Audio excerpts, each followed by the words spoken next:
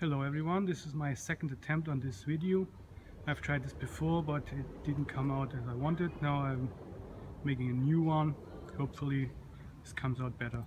I'm doing this video to show you this um, Puig windscreen I installed on my NC750X model 2016 and um, I've searched the internet uh, looking for, for the screen mounted on a bike. I never found one so as I did buy one now I wanted to show you all uh, the looks of it.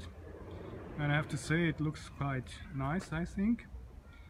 Uh, I originally uh, had ordered from the store um, GIVI windscreen. But as it turned out when I was riding it as soon as I left the, the shop um, I noticed that the wind draft hit me right on the eyes I couldn't drive on the bike um, with my helmet open. So I was very disappointed with that of course and so I decided to turn back to the shop and asked to install this um, windscreen which I had already seen um, but had decided to, to, to install the GIVI because it has a cleaner look. It's, uh, it's not, it had, has no bands and it's uh, completely flat um, and look very nice on the bike.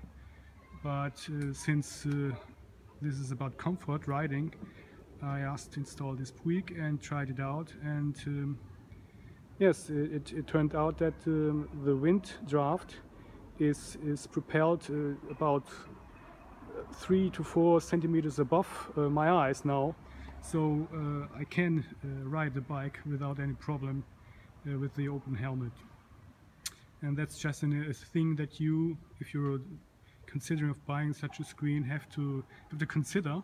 You should try it out because uh, depending on your seat height and uh, how tall you are, this could be actually a problem when riding the bike.